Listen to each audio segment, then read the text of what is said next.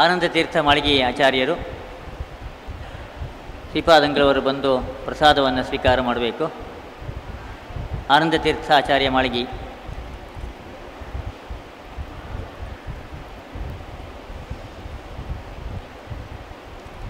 ಹೈಗ್ರೀವ ಪುರಂದರಾಚಾರ್ಯ ಇವರು ಕೂಡ್ಲಿ ಮಠ ಶ್ರೀಪಾದಂಗಳವರಲ್ಲಿ ನ್ಯಾಯಸುಧಾ ಗ್ರಂಥದ ಅಧ್ಯಯನವನ್ನು ಮಾಡಿರ್ತಕ್ಕಂತಹ ಯುವ ವಿದ್ವಾಂಸರು ಇವರ ತಂದೆಯೂ ಕೂಡ ವಿದ್ವಾಂಸರು, ಅವರು ಕೂಡ ಪಾಠ ಪ್ರವಚನದ ಮಾರ್ಗದಲ್ಲೇ ಇರ್ತಕ್ಕಂಥವರು.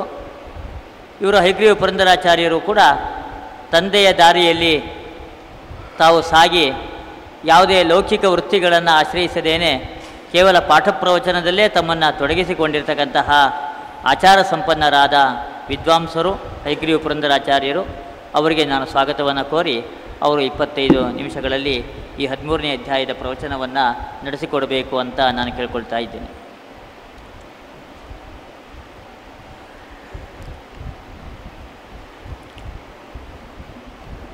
ಶ್ರೀಗುರುಭ್ಯೋ ನಮಃ ಪರಮಗುರುಭ್ಯೋ ನಮಃ. ಶ್ರೀಮದಾನಂದತೀರ್ಥ ಭಗವತ್ಪಾದಾಚಾರ್ಯ ಗುರುಭ್ಯೋ ನಮಃ, ಹರಿ ಓಂ. दद्यात विद्यां हयग्रीव। पद्मा दद्यात श्रियं मम। विद्वान मध्वो बुद्धिशुद्धि। दद्यात अद्य महर्ध्यमान् आपादमौलिपर्यन्तं गुरूणाम्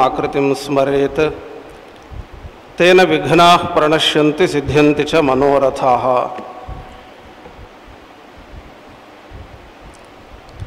ಅಸ್ತಿ ದಕ್ಷಿಣದಿಗ್ಭಾಗೆ ತುಂಗಭದ್ರಾ ಮಹಿ, ಮಹಾನದಿ. ತತ್ತಟೆ ನಗರಂ ರಮ್ಯಂ ನಾಮ್ನಾ ಹರಿಹರಂ ಪುರಂ.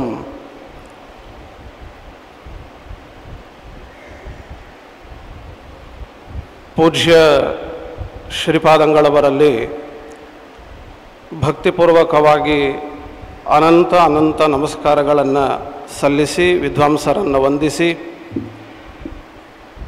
ಅವರ ಅನುಗ್ರಹದಿಂದ ಗೀತಾ ಮಹಾತ್ಮ್ಯದ ಹದಿಮೂರನೇ ಅಧ್ಯಾಯದ ಕಥೆಯ ಅನುವಾದ, ಹದಿಮೂರನೇ ಅಧ್ಯಾಯದ ಗೀತೆಯ ಕಿಂಚಿತ್ ಸ್ಪರ್ಶ ಮತ್ತು ಅವೆರಡರ ನಡುವಿನ ಸಂಬಂಧದ ಚಿಂತನೆಯನ್ನು ಮಾಡುವುದಕ್ಕೋಸ್ಕರವಾಗಿ ಹೊರಡ್ತಾ ಇದ್ದೇನೆ. ಸಾಮಾನ್ಯವಾಗಿ ನಾನು ಹೇಳೋದಿರುತ್ತೆ, ಯುವಕರ ಕೈಯಲ್ಲಿ ಬೈಕ್ ಸಿಗಬಾರದು ಯುವ ವಿದ್ವಾಂಸರ ಕೈಯಲ್ಲಿ ಮೈಕ್ ಸಿಗಬಾರದು ಅಂತ. ಆದರೂ ಅದಕ್ಕೆ ಸ್ವಲ್ಪ ಅಪವಾದ ಅನ್ನೋ ಹಾಗೆ ಸ್ವಲ್ಪ ಬೇಗನೆ ಮುಗಿಸುವ ಪ್ರಯತ್ನವನ್ನು ಕೂಡ ಮಾಡ್ತಾ ಇದ್ದೇನೆ.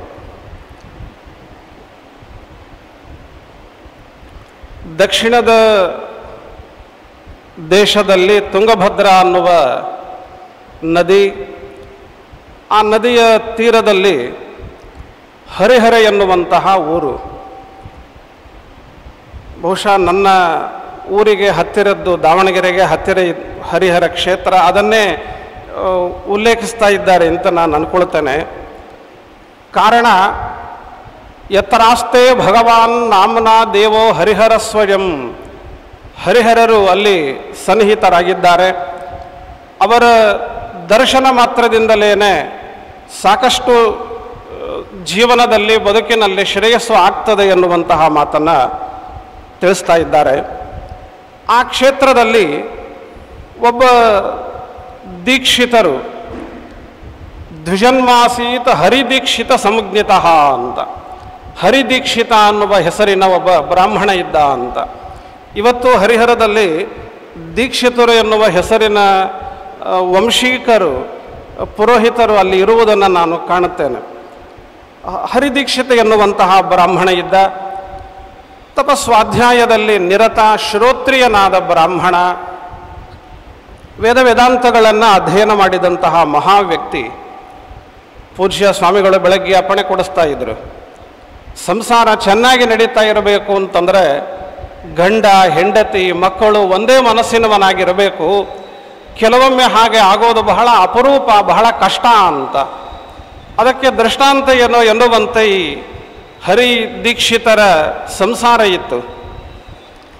ಹರಿ ದೀಕ್ಷಿತರಿಗೆ ಒಬ್ಬ ಹೆಂಡತಿ ಇದ್ಲು. ಪುರಾಣಗಳು ಹೆಸರು ಕೊಡುವುದೇ ಬಹಳ ವಿಚಿತ್ರ. ಆ ಹೆಸರುಗಳ ಮೂಲಕವಾಗಿಯೇ ಅವರ ಕಥೆಯನ್ನು, ಅವರ ಗುಣವನ್ನು ಸೂಚನೆಯನ್ನು ಮಾಡಿರ್ತಾರೆ ಅಂತ. ಆ ಹರಿದೀಕ್ಷಿತರ ಹೆಂಡತಿ ದುರಾಚಾರೇತಿ ತಸ್ಯಾಸೀತ್ ಭಾರ್ಯ ನಾಮ್ನಾಚ ಕರ್ಮಣ. ಆಕೆ ಹೆಸರು ದುರಾಚಾರ ಅಂತ ಕೆಲಸವು ಅದಕ್ಕೆ ತಕ್ಕಂತನೇ ಮಾಡ್ತಾ ಇದ್ಲು ಅಂತ. ಹೆಸರಿಟ್ಟಂತಹ ತಂದೆಗೆ ಅಗೌರವ ಆಗಬಾರದು ಅಂತ ಹೇಳಿ ಅದಕ್ಕೆ ತಕ್ಕಂತೆ ದುಷ್ಟಕರ್ಮಗಳನ್ನೇ ಅವಳು ಮಾಡಿಕೊಂಡು ಅಂತ. ವಿವಾಹಿತಳಾದ ಆ ದುರಾಚಾರೆ ಗಂಡನೊಂದಿಗೆ ಎಂದಿಗೂ ಸುಖದ ಜೀವನವನ್ನು ಮಾಡಲೇ ಇಲ್ಲ ಅವಳು ಅಂತಾರೆ. ಪತಿ ಸಂಬಂಧಿಕರನ್ನ ಬೈಯುವುದು, ಅವರು ಯಾರಾದರೂ ಬಂದರೆ ಅವರನ್ನು ವಿರೋಧ ಮಾಡುವುದು, ದ್ವೇಷ ಮಾಡುವುದು ಈ ರೀತಿ. ಗಂಡನ ಕಡೆಯವರು ಬಂದರೆ ಅವರನ್ನು ದ್ವೇಷ ಮಾಡುವುದು, ಬೈಯುವುದು ಅದು ಒಂದು ಕಡೆಗಿರಲಿ. ಗಂಡನ ಜೊತೆಗಾದರೂ ಪ್ರೀತಿಯಿಂದ ಇರಬೇಕು, ಅದನ್ನೂ ಸಹ ಆಕೆ ಮಾಡಲಿಲ್ಲ ದುರಾಚಾರಿ.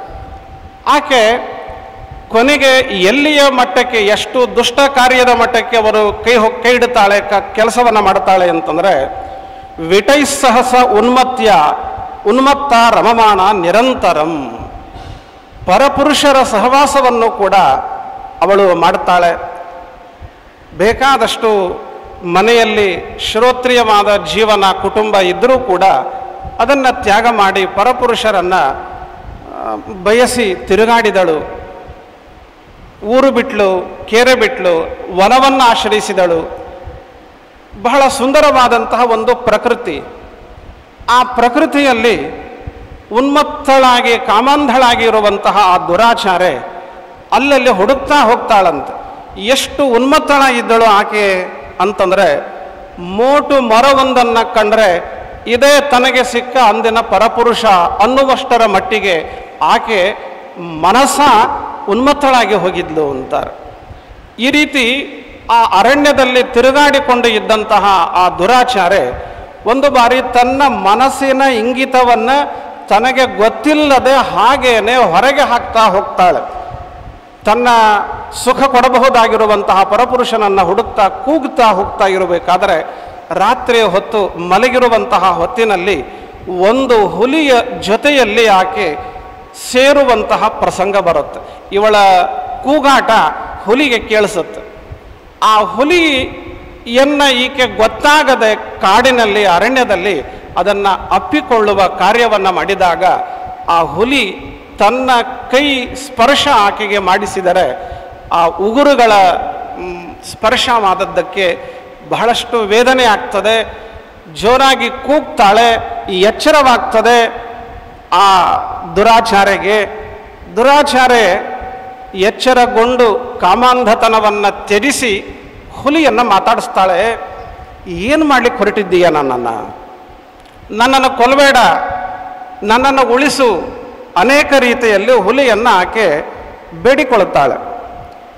ಅದಕ್ಕೆ ಆ ಹುಲಿ ಹೇಳಿತಂತೆ, ಮೊದಲು ನನ್ನ ಕಥೆ ಕೇಳು. ನಿನ್ನನ್ನು ನಾನು ಬಿಡೋನಲ್ಲ ನಿನ್ನನ್ನು ನಾನು ಕೊಲ್ಲೋದೆ ಕೊಲ್ಲುವ ಮೊದಲು ನನ್ನ ಕಥೆ ಹೇಳ್ತೇನೆ, ಆಮೇಲೆ ನಿನ್ನನ್ನು ಕೊಲ್ತೇನೆ ಅಂತ. ಆ ಹುಲಿ ತನ್ನ ಕಥೆಯನ್ನು ಹೇಳಿಕೊಳ್ಳುತ್ತೆ. ಮಲಾಪಹ ನದಿ ನಾಮ್ನ ದೇಶೇ ತಿಷ್ಠತಿ ದಕ್ಷಿಣೆ, ನಗರಿ ಮುನಿಪರಣೇತಿ ತಸ್ಯ ರೋಧಸಿ ವರ್ತತೆ. ಮಲಾಪಹಾರಿ ಅಂತ ಒಂದು ನದಿ. ಆ ನದಿಯ ತೀರದಲ್ಲಿ ಮುನಿಪರ್ಣ ಅನ್ನುವಂತಹ ಪಟ್ಟಣ ಅಂತ. ಬಹುಶಃ ಈ ಮಾತನ್ನು ನೋಡಿದರೆ ನನಗನ್ಸೋದು, ಮಲಾ ಮಲಾಪಹಾರಿ ಇಂಥ ನದಿ ಇದೆ. ಅದರ ಹತ್ತಿರದಲ್ಲಿ ಇರುವಂಥ ಇವತ್ತು ಪ್ರಸಿದ್ಧವಾದ ಮುನವಳ್ಳಿ ಅಂತ ಗ್ರಾಮ. ನಮ್ಮ ಯಾದವಾರ್ಯರ ಕಾರ್ಯಕ್ಷೇತ್ರ ಮತ್ತು ವಿಷ್ಣು ತೀರ್ಥರು ಅನೇಕ ದಿವಸಗಳ ಪರ್ಯಂತರವಾಗಿ ಆ ಸ್ಥಳದಲ್ಲಿ ತಪಸ್ಸು ಮಾಡಿದ್ದು ದಾಖಲಾಗಿರುವಂತಹ ಅಂಶ. ಆ ಕಡೆಯಿಂದ ಆ ಪ್ರಾಂತ್ಯದಿಂದ ಬಂದವರು ಅನೇಕರು ಇಲ್ಲಿ ಇದ್ದಾರೆ, ನಾವು ಕಾಣಬಹುದು.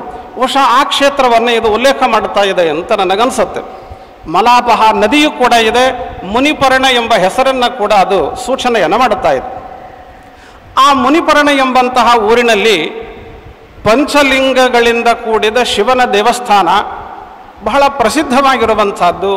ಅಲ್ಲಿ ನಾನು ಬ್ರಾಹ್ಮಣ ಪುತ್ರನಾಗಿ ಹುಟ್ಟಿದ್ದೆ. ಬ್ರಾಹ್ಮಣನಾಗಿ ಹುಟ್ಟಿರುವ ಕಾರಣ ತಂದೆ ನನಗೆ ಹೇಳಿದ ಪಾಠ ವೇದಾಧ್ಯಯನ ಮಾಡಿಸಿದಂತಹ ನಿಮಿತ್ತದಿಂದ ಅಲ್ಪ ಸ್ವಲ್ಪ ವೇದಗಳ ಪರಿಚಯ, ಪ್ರಯೋಗಗಳ ಪರಿಚಯ ನನಗೆ ಇತ್ತು. ನನ್ನ ದೃಷ್ಟಿ ವೇದ ವೇದಾಂತಗಳ ಮೂಲಕವಾಗಿ ಪರಮಾತ್ಮನನ್ನು ತಿಳಿಬೇಕು, ಮುಕ್ತಿ ಪಡಿಬೇಕು ಭಗವದ್ ಜ್ಞಾನ ಸಂಪಾದನೆ ಮಾಡಬೇಕು. ಅದು ಇಲ್ಲದೆ ಹೋಯಿತು. ಹಣ ಸಂಪಾದನೆ ಮಾಡಬೇಕು ಅಂತ. ಆ ಹಣ ಸಂಪಾದನೆ ಮಾಡುವಂತಹ ಉದ್ದೇಶದಿಂದ ನಾನು ನಿರಂತರವಾಗಿ ಪ್ರಯತ್ನವನ್ನು ಮಾಡಿದೆ ಅಂತ. ಅಯಾಜ್ಯಾನ್ ಯಾಜಯನ್ ಅಶ್ನನ್ ಏಕೋ ಅತಿಷ್ಠಂ ನದೀ ತಟೆ ವೇದಪಾಠ ಫಲಂ ಶಶ್ವತ್ ವಿಕ್ರೀಣನ್ ಧನಕಾಂಕ್ಷಯ. ವೇದಾಧ್ಯಯನವನ್ನು ಮಾಡಬೇಕು, ಮಾಡಿಸಬೇಕು, ಯಜ್ಞ ಮಾಡಬೇಕು, ಮಾಡಿಸಬೇಕು, ದಾನ ತಗೊಳ್ಬೇಕು, ದಾನ ಕೊಡಬೇಕು. ಬ್ರಾಹ್ಮಣನಿಗೆ ಹೇಳಿದಂತಹ ಆರು ಕಾರ್ಯಗಳು ಇವು.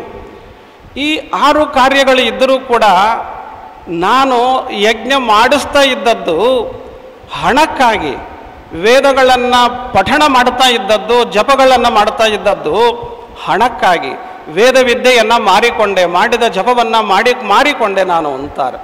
ಬಹಳ ದೊಡ್ಡದಾದ ತಪ್ಪು ಶಾಸ್ತ್ರ ಅದನ್ನು ಬಹಳವಾಗಿ ಖಂಡನೆ ಮಾಡುತ್ತದೆ. ಎಂದಿಗೂ ವೇದ ವಿದ್ಯೆಯನ್ನು ಮಾರಾಟ ಮಾಡಬೇಡಿ. ಅಯೋಗ್ಯರಿಂದ ಯಜ್ಞಯಾಗಗಳನ್ನು ಮಾಡಿಸಬೇಡಿ. ಅಯೋಗ್ಯರಿಂದ ದಾನ ತಗೊಳ್ಬೇಡಿ ಅಂತ. ನನ್ನ ಉದ್ದೇಶನೇ ಹಣ ಸಂಪಾದನೆ ಮಾಡುವುದಿತ್ತು. ಹಾಗಾಗಿ ಈ ಉಪದೇಶಗಳು ನನ್ನ ಮನಸ್ಸಿನಲ್ಲಿ ಉಳಿದಿರಲಿಲ್ಲ. ಕೇವಲ ಅಯೋಗ್ಯರಿಂದ ಯಜ್ಞಯಾಗಗಳನ್ನು ಮಾಡಿಸಿ ಹಣ ಸಂಪಾದನೆಯನ್ನು ಮಾಡ್ತಾ ಇದ್ದೆ.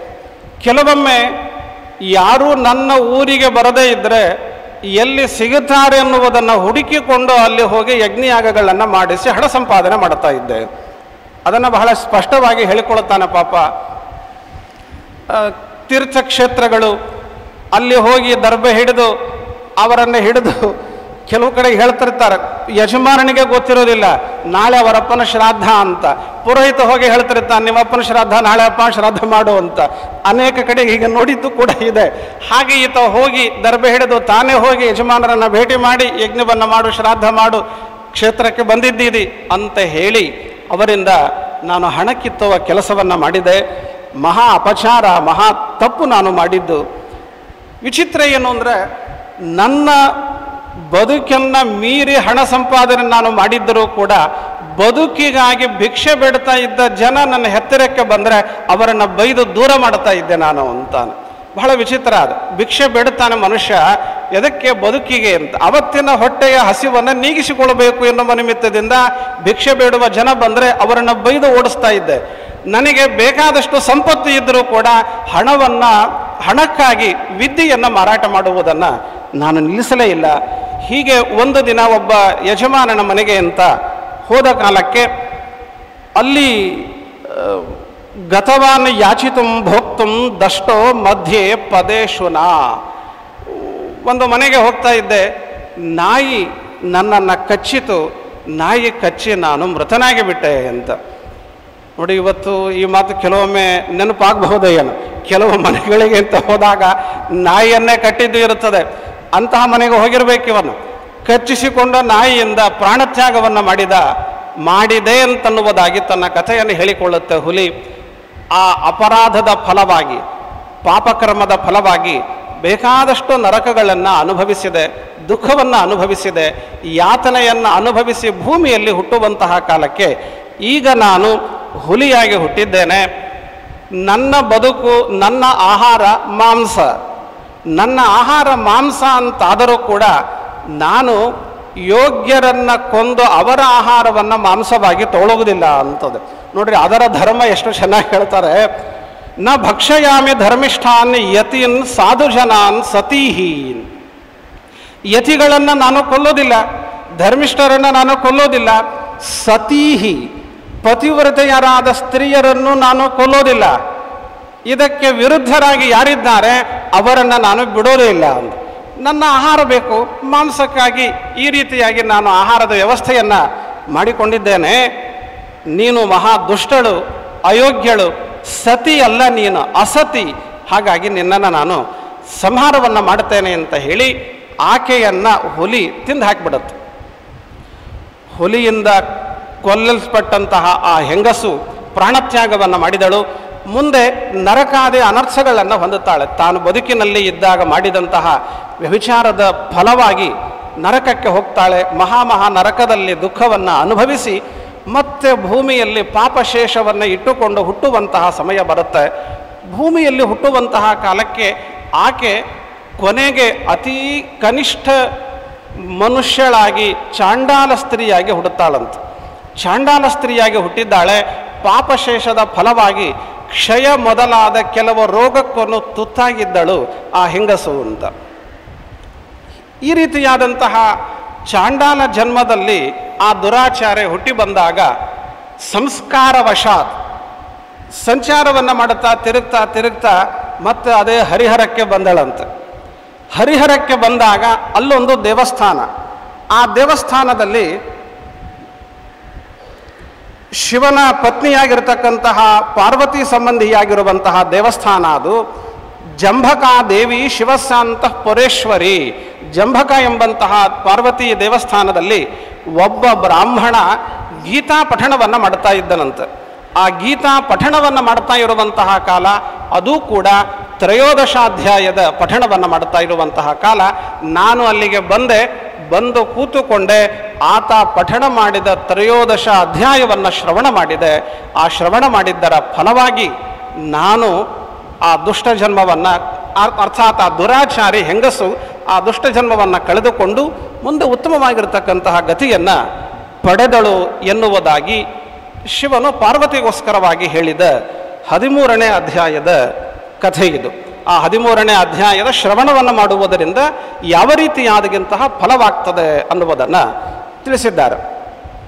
ಇಲ್ಲಿ ಈ ಹದಿಮೂರನೇ ಅಧ್ಯಾಯಕ್ಕೂ ಈ ಮಹಿಮೆಗೂ ಏನು ಸಂಬಂಧ ಇದೆ ಅಂತನ್ನುವುದನ್ನು ಹೇಳುವ ಮೊದಲು ಒಂದು ಎರಡು ನಿಮಿಷ ಹದಿಮೂರನೇ ಅಧ್ಯಾಯದ ವಿಷಯದ ಬಗ್ಗೆ ಪ್ರಸ್ತಾವನೆಯನ್ನು ಮಾಡುತ್ತೇನೆ. ಹದಿಮೂರನೇ ಅಧ್ಯಾಯ ಕ್ಷೇತ್ರ ಕ್ಷೇತ್ರಜ್ಞ ಯೋಗ ಅನ್ನುವುದಾಗಿ ಕರೆದಿದ್ದಾರೆ. ಈ ಅಧ್ಯಾಯದಲ್ಲಿ ಅರ್ಜುನನ ಪ್ರಾರ್ಥನೆ ಆರಂಭದಲ್ಲಿ ಇದೆ ಅದಕ್ಕೆ ವಿಸ್ತೃತವಾಗಿ ಕೃಷ್ಣದೇವರು ವಿವರಣೆಯನ್ನು ಕೊಡ್ತಾ ಹೋಗ್ತಾನೆ. ಮೊದಲ ಹನ್ನೆರಡು ಅಧ್ಯಾಯಗಳಲ್ಲಿ ಷಟ್ಕದ್ವಯಗಳಲ್ಲಿ ಅಲ್ಲಲ್ಲಿ ಅಲ್ಲಲ್ಲಿ ಪ್ರತಿಪಾದನೆ ಮಾಡಿದ ಕ್ಷೇತ್ರ, ಕ್ಷೇತ್ರಜ್ಞ, ಪುರುಷ, ಈ ಮೊದಲಾಗಿರತಕ್ಕಂಥ ಜ್ಞಾನ ಜ್ಞಾನ ಸಾಧನ, ಜ್ಞೇಯ, ಜ್ಞಾನಕ್ಕೆ ವಿಷಯವಾದದ್ದು, ಇವು ಏನೇನು ವಿಕ್ಷಿಪ್ತವಾಗಿ ಪ್ರತಿಪಾದನೆಯನ್ನು ಮಾಡಿದ್ದಾರೆ, ಅವುಗಳನ್ನು ಸಂಗ್ರಹಿಸಿ ಹೇಳುವುದಕ್ಕೋಸ್ಕರವಾಗಿ ಏಕತ್ರದಲ್ಲಿ ಶಿಷ್ಯರಿಗೆ ಬುದ್ಧಾರೋಹವನ್ನು ಮಾಡುವುದಕ್ಕೋಸ್ಕರವಾಗಿ ಈ ಹದಿಮೂರನೇ ಅಧ್ಯಾಯ ಹೊರಟಿದೆ ಅಂತ. ಅರ್ಜುನನ ಪ್ರಾರ್ಥನೆಯ ಕೂಡ ಹಾಗೆ ಇದೆ. ಪ್ರಕೃತಿಂ ಪುರುಷಂಚೈವ ಕ್ಷೇತ್ರಂ ಕ್ಷೇತ್ರಜ್ಞಮೇವ ಚ ಏತದ್ವೇದಿತುಮಿಚ್ಛಾಮಿ ಜ್ಞಾನಂ ಜ್ಞೇಯಂಚ ಕೇಶವ ಅಂತ. ಅಂದರೆ ಇಲ್ಲಿ ಪ್ರಧಾನವಾಗಿ ಜ್ಞಾನ ಸಾಧನ, ಜ್ಞಾನ ವಿಷಯ, ಕ್ಷೇತ್ರ, ಕ್ಷೇತ್ರಜ್ಞ ಈ ಮೊದಲಾಗಿರುವಂಥ ವಿಷಯಗಳನ್ನು ಪ್ರತಿಪಾದನೆ ಮಾಡುತ್ತಾ ಇದೆ ಹದಿಮೂರನೇ ಅಧ್ಯಾಯ ಅಂತ. ಕ್ಷೇತ್ರ, ಕ್ಷೇತ್ರಜ್ಞ, ಕ್ಷೇತ್ರ ಅಂತನ್ನುವುದನ್ನು ವಿವರಣೆ ಮಾಡುವಂತಹ ಕಾಲಕ್ಕೆ ಮಹತ್ ಅವ್- ಅವ್ಯಕ್ತ ಮೊದಲಾಗಿರುವಂತಹ ಸಮಸ್ತ ತತ್ವಗಳು, ತತ್ವಗಳ ವಿಕಾರಗೊಂಡಿರತಕ್ಕಂತಹ ಸಮಸ್ತ ಪ್ರಪಂಚವೇನೆ ಕ್ಷೇತ್ರ ಶಬ್ದದಿಂದ ಕರೆಸಿಕೊಂಡರೆ, ಈ ಕ್ಷೇತ್ರವನ್ನು ಪೂರ್ಣ ಪ್ರಮಾಣದಲ್ಲಿ ತಿರುತ, ತಿಳಿದಿರುವಂತಹ ವ್ಯಕ್ತಿ ಯಾರಿದ್ದಾನೆ? ಭಗವಂತ ಅವನನ್ನು ಕ್ಷೇತ್ರಜ್ಞ ಅನ್ನುವುದಾಗಿ ಕರೀತಾರೆ ಅಂತ. ಕೆಲವರ ಅಭಿಪ್ರಾಯ ಈ ಮಧ್ಯದಲ್ಲಿ ಇದಂ ಶರೀರಂ ಕೌಂತೆಯ ಕ್ಷೇತ್ರಮಿತ್ಯಭಿಧೀಯತೆ ಎನ್ನುವಂತಹ ಕಡೆಗಳಲ್ಲಿ ಇರುವ ಶರೀರ ಶಬ್ದ ಅಂತಾಗಿರಬಹುದು, ಕ್ಷೇತ್ರ ಎಂಬ ಶಬ್ದ ಆಗಿರಬಹುದು, ಇವು ಜೀವನ ಶರೀರ ಏನಿದೆ, ಈ ದೇಹ ಏನಿದೆ, ಈ ದೇಹವನ್ನು ಕುರಿತಾಗಿ ಹೇಳ್ತಾ ಇದೆ. ಈ ದೇಹವನ್ನು ತಿಳಿದಿರುವಂತಹ ವ್ಯಕ್ತಿ ಯಾರೋ, ಅವನನ್ನ ಕ್ಷೇತ್ರಜ್ಞ ಅಂತ ಕರೀತಾರೆ ಅಂತ ಜೀವನ ಪರವಾಗಿ ಎರಡನೇ ಎರಡನೇ ಶ್ಲೋಕವಾದದ್ದು ಹೊರಟಿದೆ ಅನ್ನುವುದಾಗಿ ಕೆಲವರು ಹೇಳುತ್ತಾರೆ ಜೀವನನ್ನ ಕ್ಷೇತ್ರಜ್ಞ ಅನ್ನುವುದಾಗಿ ಹೇಳ್ತಾ ಇದೆ ಇನ್ನು ಮೂರನೇ ಶ್ಲೋಕ ಏನಿದೆಯಲ್ಲ, ಈ ಮೂರನೇ ಶ್ಲೋಕವಾದದ್ದು, ಕ್ಷೇತ್ರಜ್ಞಂ ಚಾಪಿ ಮಾಂ ವಿಧಿ ಅನ್ನುವಂತಹ ಮೂರನೇ ಶ್ಲೋಕ ಇದು ಜಿ ಈಶ್ವರನ ಪರವಾಗಿ ಹೇಳಿಕ್ಕೆ ಹೊರಟಿದೆ ಅಂತ ಯಾಕಂದ್ರೆ ಸ್ಪಷ್ಟ, ಕೃಷ್ಣನೇ ಆ ಮಾತನ್ನು ಹೇಳಿಕೊಂಡಿದ್ದಾನೆ ಶ್ಲೋಕದಲ್ಲಿ, ಕ್ಷೇತ್ರ ಕ್ಷೇತ್ರಜ್ಞನ ಕ್ಷೇತ್ರಜ್ಞಂ ಚಾಪಿ ಮಾಂ ವಿದ್ಧಿ ಸರ್ವಕ್ಷೇತ್ರೇಶು ಭಾರತ ಅಂತ ಹೇಳಿ ಸರ್ವಜ್ಞ ಸರ್ವ ಕ್ಷೇತ್ರ ಕ್ಷೇತ್ರಜ್ಞ ಎನ್ನುವುದಾಗಿ ನನ್ನನ್ನು ತಿಳಿ ಅಂತ ಸ್ವಯಂ ಕೃಷ್ಣನೇ ಹೇಳಿಕೊಂಡಿದ್ದಾನೆ. ಹಾಗಾಗಿ ಈಶ್ವರನನ್ನ ಕುರಿತಾಗಿ ಈ ಶ್ಲೋಕ ಹೇಳ್ತಾ ಇದೆ ಅಂತ. ಅಲ್ಲಪ್ಪ ಎರಡನೇ ಶ್ಲೋಕದಲ್ಲಿ ಕ್ಷೇತ್ರಜ್ಞ ಎನ್ನುವುದಾಗಿ ಜೀವನನ್ನು ಹೇಳಿ ಮೂರನೇ ಶ್ಲೋಕದಲ್ಲಿ ಕ್ಷೇತ್ರಜ್ಞ ಎನ್ನುವುದಾಗಿ ಈಶ್ವರನನ್ನು ಹೇಳಲಿಕ್ಕೆ ಹೋಗ್ತಾನೆ. ಹೇಗೆ ಕೃಷ್ಣ? ವಿರುದ್ಧ ಅಲ್ವೇ ಅದು? ಅನ್ನುವಂತಹ ಪ್ರಶ್ನೆ ಬಂದಾಗ ಅವರ ಅಭಿಪ್ರಾಯ, ಜೀವ ಬೇರೆಯಲ್ಲ ಈಶ್ವರ ಬೇರೆಯಲ್ಲ ಹಾಗಾಗಿ ಎರಡು ಮತ್ತು ಮೂರನೇ ಶ್ಲೋಕದಲ್ಲಿ ಹೇಳಲ್ಪಟ್ಟಂತಹ ಕ್ಷೇತ್ರಜ್ಞ ಇಬ್ಬರು ಒಂದೇ ಇದ್ದಾರೆ. ನಮ್ಮ ವಿರೋಧ ಏನಿಲ್ಲ ಇದರಲ್ಲಿ ಅನ್ನುವುದಾಗಿ ಅದಕ್ಕೆ ಉತ್ತರ ಕೊಡುವಂತಹ ಸಾಹಸವನ್ನು ಮಾಡಿದ್ದಾರೆ. ಶ್ರೀಮದ್ ಆಚಾರ್ಯರು ಮೂರನೇ ಶ್ಲೋಕಕ್ಕೆ ವ್ಯಾಖ್ಯಾನವನ್ನು ಮಾಡುತ್ತಾ ಹೊರಟು ಅದ್ಭುತವಾಗಿ ಹತ್ತಾರು ಪ್ರಮಾಣಗಳನ್ನು ಉದಹರಿಸಿ ಸ್ಪಷ್ಟವಾಗಿ ಹೇಳುತ್ತಾರೆ, ಕ್ಷೇತ್ರಜ್ಞ ಭಗವಾನ್ ವಿಷ್ಣು, ನಹ್ಯನ್ಯ ಕ್ಷೇತ್ರ ಮಂಜಸ, ವ್ಯತ್ಯಸೋ ಭಗವಾನ್ ಜ್ಞೇಯೋ ವ್ಯಕ್ತಾವ್ಯಕ್ತ ವಿಲಕ್ಷಣ. ವ್ಯಕ್ತ ಅವ್ಯಕ್ತ ರೂಪವಾದ, ಸದಸದ್ ರೂಪವಾಗಿರುವಂತಹ ಜಗತ್ತಿನಿಂದ ಅತ್ಯಂತ ವಿಲಕ್ಷಣನಾಗಿರುವಂತಹ ಪರಮಾತ್ಮನೇ ಕ್ಷೇತ್ರಜ್ಞ ಹೊರತಾಗಿ ಜೀವನನ್ನು, ಆ ಭಗವಂತನಿಂದ ಬೇರೆಯಾಗಿರ್ತಕ್ಕಂತಹ ವ್ಯಕ್ತಿಗಳು ಯಾರೊಬ್ಬರೂ ಕೂಡ ಕ್ಷೇತ್ರಜ್ಞರಾಗುವುದಕ್ಕೆ ಸಾಧ್ಯವೇ ಇಲ್ಲ ಅನ್ನುವುದಾಗಿ, ಪರಮಾತ್ಮನನ್ನ ಕ್ಷೇತ್ರಜ್ಞ ಎನ್ನುವುದಾಗಿ ಕರೆಯಬೇಕು. ಜೀವರಲ್ಲ ಅನ್ನುವುದಾಗಿ ಪ್ರತಿಪಾದನೆ ಮಾಡುತ್ತಾರೆ. ಭಾಗವತಾದಿ ಗ್ರಂಥಗಳಲ್ಲಿ ಬಂದ ಕೆಲವು ಶ್ಲೋಕಗಳನ್ನು ಕೂಡ ಈ ಸಮಯದಲ್ಲಿ ಶ್ರೀಮದ್ ಆಚಾರ್ಯರು ಭಾಷ್ಯದಲ್ಲಿ ಹೇಳಿದ್ದು ಉಂಟು. ಇದಲ್ಲದೆ ಕ್ಷೇತ್ರ ಕ್ಷೇತ್ರಜ್ಞ ಜ್ಞಾನ, ಜ್ಞೇಯ, ಇಲ್ಲಿ ಜ್ಞಾನ ಅಂದರೆ ಜ್ಞಾನ ಸಾಧನ ಅಂತನ್ನುವುದಾಗಿ ಅರ್ಥವನ್ನು ಮಾಡಿದ್ದಾರೆ. ಜ್ಞಾನ ಸಾಧನವಾಗಿರತಕ್ಕಂತಹ ಇಪ್ಪತ್ತು ಅಂಶಗಳನ್ನು ಭಗವದ್ಗೀತೆಯಲ್ಲಿ ಐದು ಶ್ಲೋಕಗಳಲ್ಲಿ ಕೃಷ್ಣದೇವರು ಉಪದೇಶವನ್ನು ಮಾಡಿದ್ದು ಇದೆ. ಅದರೊಳಗೆ ಅಮಾನಿತ್ವಂ, ಅದಂಭಿತ್ವಂ, ಅಹಿಂಸಾ, ಕ್ಷಾಂತಿ, ಆರ್ಜವಂ ಈ ಮೊದಲಾಗಿ ಇಪ್ಪತ್ತು ಧರ್ಮಗಳನ್ನು ಪ್ರತಿಪಾದನೆ ಮಾಡಿದ್ದಾರೆ. ಹಾಗಂದರೇನು ಅನ್ನುವುದನ್ನು ಸಾಕಷ್ಟು ವಿವರಣೆಯನ್ನು ಮಾಡಿ ರಾಘವೇಂದ್ರ ಸ್ವಾಮಿಗಳು, ಮಂತ್ರಾಲಯ ಪ್ರಭುಗಳು ಒಂದೊಂದಕ್ಕೂ ಕೂಡ ವ್ಯಾಖ್ಯಾನವನ್ನು ಮಾಡಿದ್ದು ಇದೆ. ಅಲ್ಲಿ ಅಹಂ ಮೊದಲಾಗಿರುವಂತಹ ತತ್ವಗಳು, ಅದರ ಅಭಿಮಾನಿಗಳು ಯಾರು, ಅದನ್ನು ನಾವು ಹೇಗೆ ಉಪಾಸನೆ ಮಾಡಬೇಕು, ಅವರು ಕ್ಷೇತ್ರದೊಳಗೆ ಹೇಗೆ ಸೇರುತ್ತಾರೆ ಇತ್ಯಾದಿ ವಿಷಯಗಳು ಬಹಳ ವಿಸ್ತೃತವಾಗಿ ಪ್ರತಿಪಾದನೆಯನ್ನು ಮಾಡಿದ್ದಾರೆ. ಇದಿಷ್ಟು ಅತಿ ಸಂಕ್ಷಿಪ್ತವಾಗಿ ನಾನು ಹದಿಮೂರನೇ ಅಧ್ಯಾಯದ ಗೀತೆಯ ಸ್ಪರ್ಶವನ್ನು ಮಾಡಿ, ಈಗ ಆ ಹದಿಮೂರನೇ ಅಧ್ಯಾಯಕ್ಕೂ ಹದಿಮೂರನೇ ಅಧ್ಯಾಯಕ್ಕೆ ಸಂಬಂಧಪಟ್ಟ ಮಹಾತ್ಮ್ಯವನ್ನು ಏನು ಹೇಳಿತ್ತಲ್ಲ, ಆ ಮಹಾತ್ಮ್ಯಕ್ಕೂ ಯಾವ ರೀತಿಯ ಸಂಬಂಧ ಇದೆ ಅಂತ. ಇದು ಹೇಗೆ ಸಂಬಂಧಪಟ್ಟದ್ದು ಅನ್ನುವಂತಹ ವಿಚಾರವನ್ನು ಇಲ್ಲಿ ಐದೇ ನಿಮಿಷದಲ್ಲಿ ಸಮರ್ಪಣೆಯನ್ನು ಮಾಡುವ ಪ್ರಯತ್ನವನ್ನು ಮಾಡುತ್ತೇನೆ. ಇನ್ನೊಂದು ಮಾತು, ಆ ಹದಿಮೂರನೇ ಅಧ್ಯಾಯದ ಕೊನೆ ಶ್ಲೋಕದೊಳಗೆ, ಈ ಜ್ಞಾನ, ಜ್ಞೇಯ, ಕ್ಷೇತ್ರ, ಕ್ಷೇತ್ರಜ್ಞ ಮತ್ತು ಇವುಗಳನ್ನು ಯಾರು ಚೆನ್ನಾಗಿ ತಿಳಿಯುತ್ತಾರೆ ಇವರ ಅಂತರವನ್ನು ಯಾರು ತಿಳಿಯುತ್ತಾರೆ? ಕ್ಷೇತ್ರ, ಕ್ಷೇತ್ರಜ್ಞರ ಅಂತರವನ್ನು ಯಾರು ತಿಳಿಯುತ್ತಾರೆ? ಸಾಧನವನ್ನು ಯಾರು ತಿಳಿಯುತ್ತಾರೆ? ಜ್ಞಾನ ಸಾಧನವನ್ನು ಅವರು ಮೋಕ್ಷವನ್ನು ಪಡೀತಾರೆ, ಮೋಕ್ಷವನ್ನು ಹೊಂದುತ್ತಾರೆ ಅಂತನ್ನುವುದಾಗಿ ಸಂದೇಶವನ್ನು ಕೊಟ್ಟು ಹದಿಮೂರನೇ ಅಧ್ಯಾಯವಾದದ್ದು ಸಂಪನ್ನಗೊಳ್ತಾ ಇದೆ. ಗೀತಾ ಮಹಾತ್ಮ್ಯದ ಸಂಬಂಧವನ್ನು ಇದಕ್ಕೆ ಮಾಡುವುದಾದರೆ ಗೀತಾ ಮಹಾತ್ಮ್ಯದಲ್ಲಿ ಒಂದು ಹುಲಿ ಮತ್ತು ದುರಾಚಾರ್ಯ ಸ್ತ್ರೀಯ ಸ್ಪ ಒಂದು ಪ್ರಸಂಗ ಇತ್ತು. ಆ ಹುಲಿ ಮೃಗ ಅದು. ಮೃಗವಾಗಿದ್ದರೂ ಕೂಡ ಒಬ್ಬ ಮನುಷ್ಯನಂತೆ ಅದು ತನ್ನ ಕಾರ್ಯವನ್ನು ಮಾಡಿದೆ. ಈಕೆ ದುರಾಚಾರಿಯಾಗಿರ್ತಕ್ಕಂತಹ ಹೆಂಗಸು ಮನುಷ್ಯಳಾಗಿದ್ದರೂ ಮೃಗದಂತಹ ಕೆಲಸವನ್ನು ಮಾಡುತ್ತಾಳೆ. ಮೃಗ ಬೇಟೆಯಾಡುವ ಕೆಲಸವನ್ನು ಮಾಡುವಂಥದ್ದು ಈಕೆ ಅರಣ್ಯದಲ್ಲಿ ಪರಪುರುಷರನ್ನು ಬೇಟೆಯಾಡುವಂಥ ಕೆಲಸವನ್ನು ಮಾಡಿದ್ಲು ಅಂತ.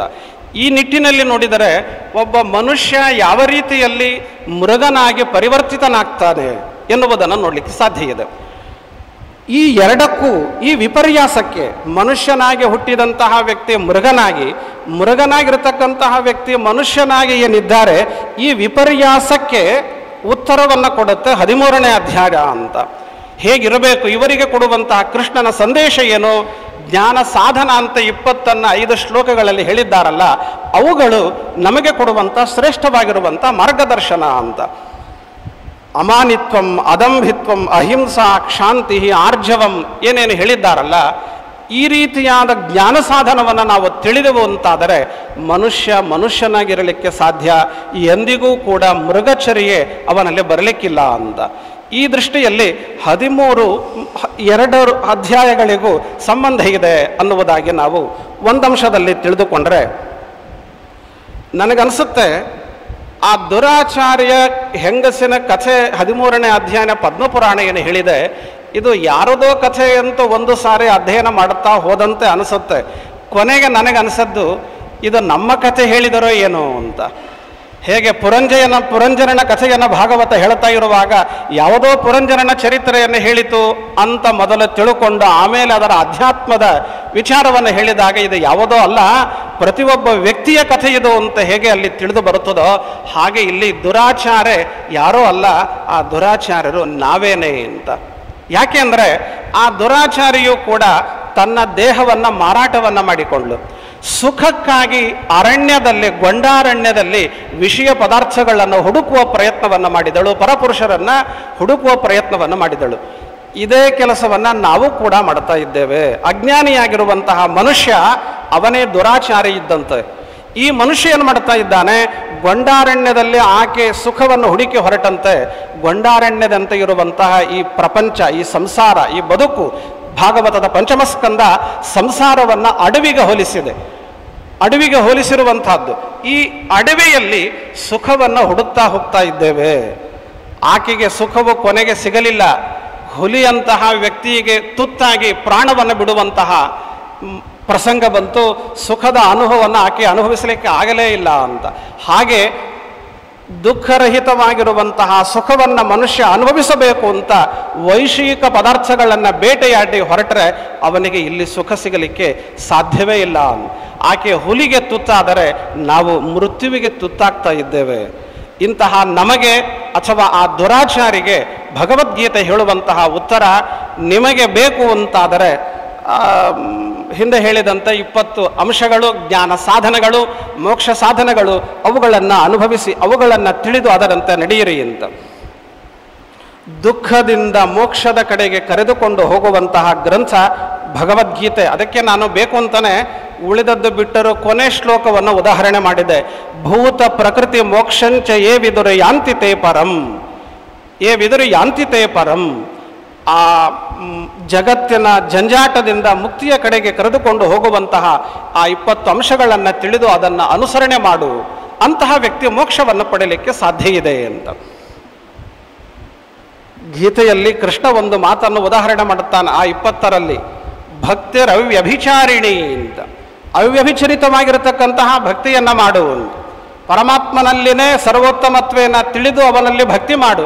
ಉಳಿದವರಲ್ಲಿ ತಾರತಮ್ಯಪೇತವಾಗಿ ಅವರಲ್ಲಿ ಭಕ್ತಿಯನ್ನು ಮಾಡು. ಪರಮಾತ್ಮನಲ್ಲಿ ವಿಶಿಷ್ಟವಾಗಿ ಭಕ್ತಿಯನ್ನು ಮಾಡು ಅನ್ನುವುದಾಗಿ ಹೇಳಿದರು. ಆಕೆ ಭಕ್ತಿ ಅವ್ಯಭಿಚಾರಿಣಿ ಅಲ್ಲ ವ್ಯಭಿಚಾರವೇ ಆಕೆ, ವ್ಯಭಿಚಾರದಲ್ಲಿ ಆಕೆಗೆ ಭಕ್ತಿ ಉಂಟಾಗಿತ್ತು ಅಂತ. ಆ ಭಕ್, ವ್ಯಭಿಚಾರದಲ್ಲಿ ಭಕ್ತಿ ಇರುವಂತಹ ಆಕೆ, ಆಕೆಯಂತಿರುವಂತಹ ಪುರುಷರು ಉದ್ಧತರಾಗಬೇಕು, ಅವ್ಯಭಿಚರಿತವಾಗಿರುವಂತಹ ಭಕ್ತಿಯನ್ನು ಹೊಂದಬೇಕು ಅಂತಾದರೆ ಮತ್ತೊಮ್ಮೆ ನಾನು ಅದನ್ನೇ ಮಾತನ್ನು ಹೇಳಬೇಕು. ಹಿಂದೆ ಹೇಳಿದಂಥ ಇಪ್ಪತ್ತು ಅಂಶಗಳು, ಕ್ಷೇತ್ರ, ಕ್ಷೇತ್ರಜ್ಞ, ಇವರ ನಡುವಿನ ಅಂತರ, ಇದನ್ನು ತಿಳಿದರೆ ಮಾತ್ರ ಅವ್ಯಭಿಚರಿತವಾಗಿರುವಂತಹ ಭಕ್ತಿ ತನ್ಮೂಲಕವಾಗಿ ಮುಕ್ತಿಯನ್ನು ಪಡೀಲಿಕ್ಕೆ ಸಾಧ್ಯತೆ ಇದೆ ಅಂತ. ಇನ್ನು ಕೊನೆಯದಾಗಿ ನಾನು ಹೇಳಬೇಕಾಗಿರುವಂತಹ ಅಂಶ ಅಂತಂದರೆ, ಈ ಹುಲಿಯ ಕಥೆ, ಆ ದುರಾಚಾರಣೆಯ ಕಥೆ ಹೇಳಿದರು ಆಕೆಗೆ ಮುಕ್ತಿ ಹೇಗಾಯಿತು, ಅವಳ ಸಂಬಂಧ ಏನು, ಹದಿಮೂರನೇ ಅಧ್ಯಾಯ ಸಂಬಂಧ ಏನು, ಅದೆಲ್ಲ ಗೊತ್ತಾಯಿತು. ಆದರೆ ಹುಲಿಯ ಕಥೆಯ ಬಗ್ಗೆ ಆ ಹದಿನೈ, ಹದಿಮೂರನೇ ಅಧ್ಯಾಯದ ಪದ್ಮಪುರಾಣ ಮೌನ ವಹಿಸುತ್ತೆ. ಅದಕ್ಕೆ ಉದ್ಧಾರ ಆಯಿತೋ ಇಲ್ಲೋ? ದುಷ್ಟಳಾದ ದುರಾಚಾರ್ಯ ಕಥೆಯನ್ನು ಹೇಳಿ ಆಕೆಗೆ ಉದ್ಧಾರ ಹೇಗಾಯಿತು? ಹದಿಮೂರನೇ ಅಧ್ಯಾಯ ಕೇಳಿದಳು, ಉದ್ಧಾರ ಆಯಿತು ಅಂತ ಹೇಳ್ತಾರೆ. ಆದರೆ ಸಜ್ಜನ ಸ್ವಭಾವದ, ಸಜ್ಜನ ಪ್ರಕೃತಿಯ ಹುಲಿಯ ಬಗ್ಗೆ, ಅದರ ಉದ್ಧಾರದ ಬಗ್ಗೆ ಏನು ಮಾತನ್ನೇ ಹೇಳೋದೇ ಇಲ್ಲ ಅದು. ಇದರ ಬಗ್ಗೆ ನಾವು ಊಹಿಸುವುದೇ ಆದಲ್ಲಿ ಪದ್ಮಪುರಾಣದ, ಅದೇ ಪದ್ಮಪುರಾಣದಲ್ಲಿ ಬಂದ ಈ ಗೋವಿನ ಹಾಡು ಅಂತ ಪ್ರಸಿದ್ಧವಾದ ಕಥೆ ಇದೆಯಲ್ಲ, ಹುಲಿಯ ಕಥೆಯನ್ನು ಹೇಳ್ತಾರಲ್ಲ, ಆ ಹುಲಿಯ ಕಥೆಯಲ್ಲಿ ಪ್ರಭಂಜನನೆಂಬಂತಹ ರಾಜನೇ ಮಾಡಿದ ತಪ್ಪಿನ ಫಲವಾಗಿ ಹುಲಿಯಾಗಿ ಹುಟ್ಟಿರುತ್ತಾನೆ. ಆ ಹುಲಿ ತನ್ನ ತ್ಯಾಗದ ಫಲವಾಗಿ ಮುಂದೆ ಆ ಹುಲಿ ನಂದ ಎಂಬ ಗೋವನ್ನು ತಿನ್ನಬೇಕು ಅಂತ ಹೋಗಿ ಕೊನೆಗೆ ತ್ಯಾಗ ಮಾಡಿ ತನ್ನ ಪ್ರಾಣವನ್ನೇ ಬಿಟ್ಟಿತು ಅಂತ. ಆ ರೀತಿಯಾದ ಸಜ್ಜನ ಹುಲಿಯ ಕಥೆಯನ್ನು ನಾವು ಮನಸ್ಸಿಗೆ ತಂದುಕೊಂಡ್ರೆ ಈ ಹುಲಿಯು ಕೂಡ ಮುಂದೆ ಸಾತ್ವಿಕವಾಗಿರುವಂಥ ಗುಣ ಇದ್ದದ್ದು ಅನ್ನುವ ನಿಮಿತ್ತದಿಂದ ಅದು ಮುಕ್ತಿಯನ್ನು ಪಡೆಯಿತು ಅನ್ನುವಂತಹ ವಿಚಾರವನ್ನು ಕೂಡ ನಾವಿಲ್ಲಿ ಅನುಸಂಧಾನವನ್ನು ಮಾಡಲಿಕ್ಕೆ ಬರುತ್ತದೆ ಎನ್ನುವುದಾಗಿ ಹೇಳ್ತಾ ಕೊನೆಯ ಮಾತನ್ನು ಹೇಳ್ತಾ ಮುಗಿಸ್ತೇನೆ.